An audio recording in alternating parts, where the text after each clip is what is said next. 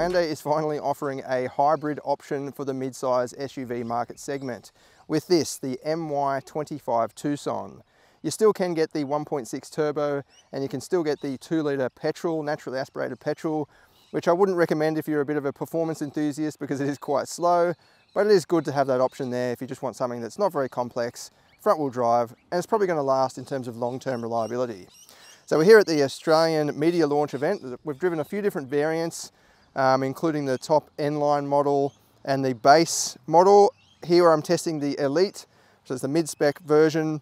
I thought I'd grab the all-wheel drive model so we can do the 0 to 100 and see what it's like, um, because I've tested the Kia Sportage, which shares pretty much the same powertrain as this, same platform, but it does have a slightly different electrical system. This has got the newer system compared with the Kia, but I'll get to that a bit later on. In terms of the design, only very minor trimming updates, including a new black badge on some models, a new paint color option called Pine Green Matte, and some trim changes inside. So Hyundai is pretty late to the market with a hybrid option for this segment. Like you can get the Nissan X-Trail as a hybrid, you can get the Mitsubishi Outlander as a hybrid, you can get the Toyota RAV4 of course with a hybrid, and recently the Kia Sportage. Now Hyundai has got an option there. This basically replaces the turbo diesel. Um, I spoke to Hyundai, they said last year the diesel accounted for about 28% of Tucson sales, which I think is pretty big, you know, it's almost a third of sales. This is going to replace that. So I don't know if the market is happy to lose the diesel for the sake of a hybrid. At the end of the day, this has got more power and the fuel consumption is lower. Under the bonnet there we have the familiar 1.6 turbo petrol. It produces around 132 kilowatts itself. It is one of the newer versions of this engine, so smart stream technology. But yeah, it's, it's basically carried over from quite a few years ago. And then it's paired with a 1.49 kilowatt hour battery, powering an electric motor. With all systems working and running at their max, you've got 172 kilowatts. That's a tiny bit more than the Kia Sportage Hybrid, which offers 169 kilowatts, Hyundai says that it's basically down to the updated electrical system. So this features the latest technology, whereas the Sportage is running slightly older technology. Either way, that's a decent amount of power for a vehicle in this class, mid-size SUV, 170 kilowatts-ish, and it goes pretty good. We'll go for a drive in a minute and I'll show you.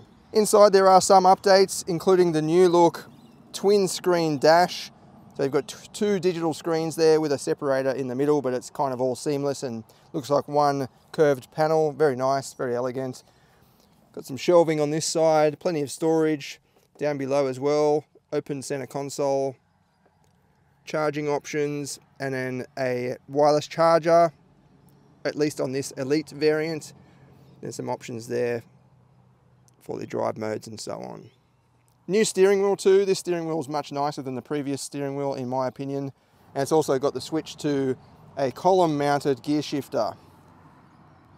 Decent amount of room inside. It's probably one of the biggest in its class actually, especially in terms of length. You've got a lot of rear leg room and heaps of boot space. But yeah, in the front it feels open and airy and with the new horizontal dash theme, so this sort of runs all the way across basically, it just feels more spacious and open. The new touchscreen is nice. It runs Hyundai's latest software. Pretty quick and responsive. Got plenty of options there to play around with. I won't go through all of the boring details, but yeah, heaps of options. You've also got a fully digital instrument cluster and you can access the different drive modes just down here. You've got sport and eco.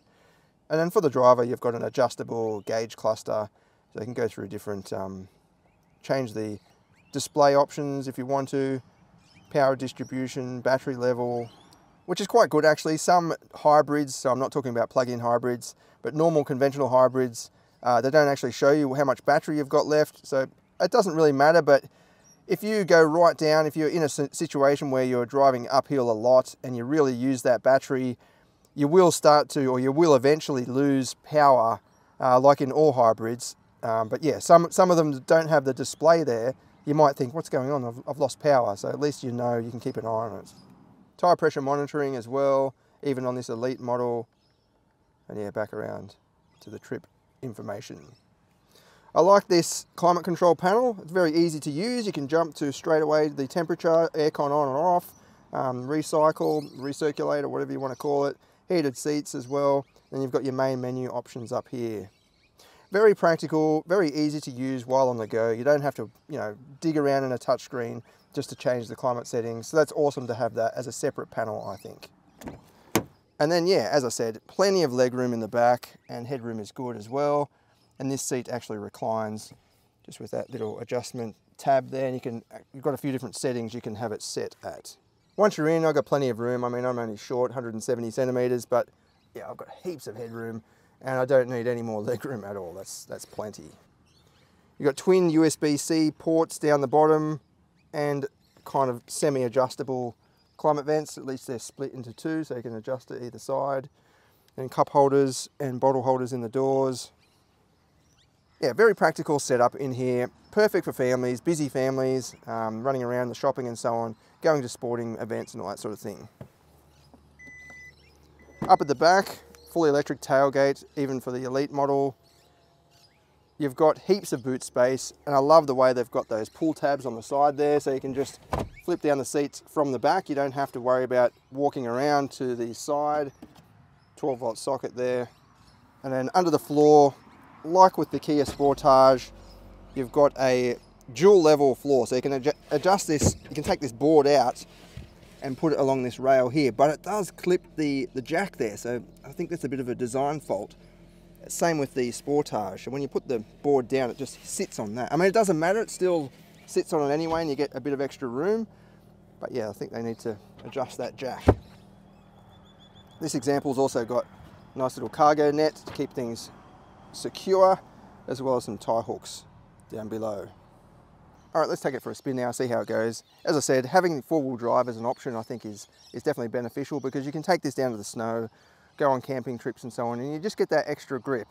I find that even with the Hyundai, but as well as the Sportage that we tested not that long ago, the front-wheel drive system with the instant torque of the electric motor, in the wet, it just spins so easily, the front wheels. Even with the traction control left on, it's, it's just constantly grabbing it. And it just, yeah, it's not ideal, I don't think, whereas with the all-wheel drive system, I've already done some driving, it's just much better, and it doesn't have the torque steer as well. So when you put your foot down in the front-wheel drive version, it definitely tugs at the wheels and uh, it tugs at the front wheels and pulls it around a bit. Whereas with four-wheel drive, it's just straight and stable. A new function for the MY25 Tucson is a system that easily or very quickly quietens down the speed limit warning. So you've got your little speed limit sign there. That's picked up the last sign that it saw. So I've just pulled out of a, uh, a sort of resort where the speed limit is 10 or something. Um, I don't think it's actually picked that up, but sometimes what happens is it'll pick up the 10 in there and then you pull out here and it'll drive down the road and this is about 80 or 100 kilometers an hour down here. Um, and then it will just keep beeping at you saying you're speeding, it's still 10. So the way to quieten that down really quickly is to hold down the, the mute button on the steering wheel here. So that's for the volume control. And hold that down for three seconds or something. Speed limit information function has been selected. And what that does is it'll still show the speed recommendation, but it won't give you that audible warning. And then you can go into here as well, vehicle, driver assistance, and then in here, you've got the four different options, like some of the other latest Hyundai and Genesis models. So you can actually leave speed limit information there, um, or you can have the, the warning on, so it lets off, uh, sounds off a buzzer, or you can turn it off completely. Speaking of safety systems, the MY25 Tucson does not come with a driver monitoring camera, fortunately. Uh, the, the five-star NCAP's rating still carries over from the previous test, whenever that was, in 2021 or 2022. Uh, but it doesn't need to uh, crash test again because this is not an all-new model, it's just a facelift. So all new vehicles uh, they need to have a driver monitoring camera in order to uh, have access to the five star rating. Whereas this, yeah, it can still carry a five star rating because it is just a facelift. Another safety system that's easy to turn off is the lane keep assist. So I'm driving on a country road now. It, constantly is, or pretty much constantly adjusting me in the lane. I mean, this area right here is straight, but when you hit like a winding section, you know, it's, it's impossible to stay perfectly parallel with the line. Well, not impossible, but not many people drive like that. So it will try to fight you and, and push you back into the perfect center um, pretty much constantly. And you can turn that off easily just by hitting down, uh, holding down this button and the little symbol there will turn orange. So that way when you're driving, you know, you come up against the line or something like that, or you get close to the outside there as you're going around a corner, it's not going to quickly, you know, tug the steering wheel and, and put you off. So it is good to have that option there to turn that off very quickly and easily. Enough of the safety systems though, how about this powertrain? Well, the first thing you'll notice is the instant torque. You don't need to put your foot down much and you get this surge from behind even though the engine might not be revving, you've still got that surge because the electric motor is, is doing its thing. And you've actually got a surprising amount of, I'll just slow down, top end punch. So this features a six speed automatic, it's not a CVT, thankfully.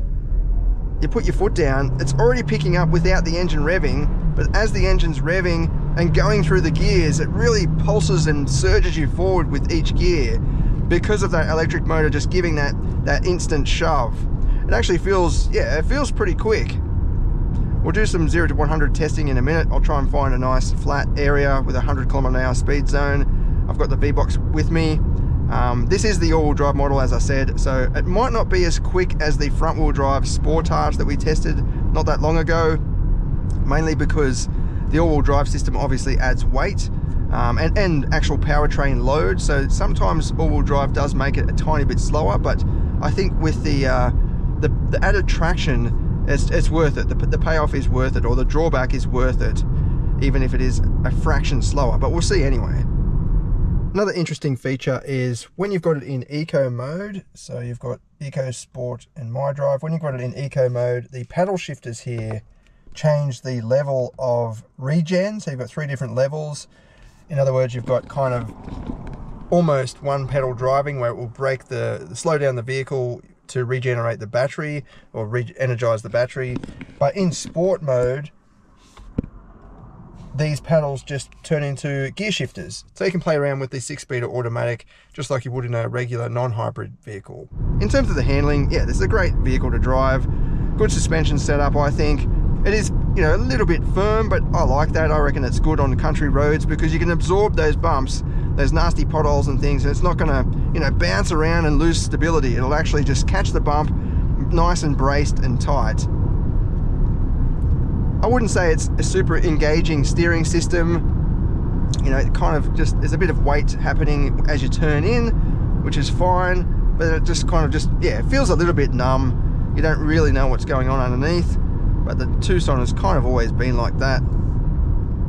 Overall though, it's, it's, a, it's a pleasure to drive, it really is. Like it's just smooth, it's comfortable, it's not out of its comfort zone, you can take on corners pretty quickly, with bumps and so on in the on the corner and it will just remain very true, stable and confident, which is what you want at the end of the day. This is not a sports car, so you can't expect absolute sports car engagement and handling. But yeah, just then there was a bit of a bump there, right on the corner, another one, and just stays very stable and straight. In terms of the economy, I'm averaging 6.7, but we have been thrashing these around at quite a bit. I think when we pulled in it was about, oh sorry, when we started them up it was about 5.9, just not bad at all for the real world and considering this has a 1.6 turbo under there as well working away. So this is not just a boring, you know, naturally aspirated engine, you've actually got a little turbo engine under there. Um, also supplying that 265, or its 265 newton meters as well, which is a decent amount of torque uh, just by itself. With the upper spec model, you do get a side monitoring camera. So when you put the indicator on, it will come up with the, uh, the side view, but this is just the Elite and it doesn't come with that. All right, let's find somewhere to do some 0 to 100 testing and see what it goes like. I'll do a few different runs, including brake holding or tor torque loading the engine up on the brake, and I'll try just flat flattening the, uh, the throttle I forgot to say, sorry, there's a bit of a mark on my forehead. Uh, with the turbo engine, it actually sounds good too. So a lot of hybrids at the moment, they're just naturally aspirated and they just, yeah, sound pretty boring. Whereas with the turbo, you've got just that little bit of bass in the background, bit of sportiness, which I think adds to the driving experience a little bit.